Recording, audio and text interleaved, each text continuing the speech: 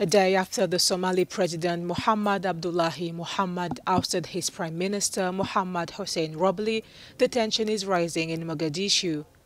Heavily armed soldiers loyal to the prime minister were stationed around the presidential palace on Tuesday. Roble refuses his suspension, accusing his opponent of making a deliberate attempt to overthrow the government, the constitution and the laws of the land. If the city remains calm, many observers, such as the U.S. Bureau of African Affairs, have called for a de-escalation.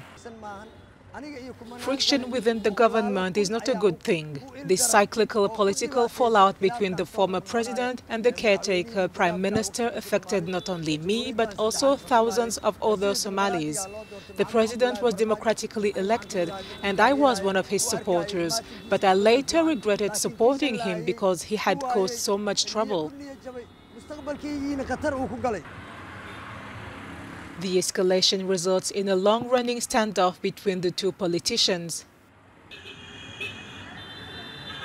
Pressure on the president to hold elections has intensified since a scheduled vote in February failed to take place because of the lack of agreement on how the vote should be carried out.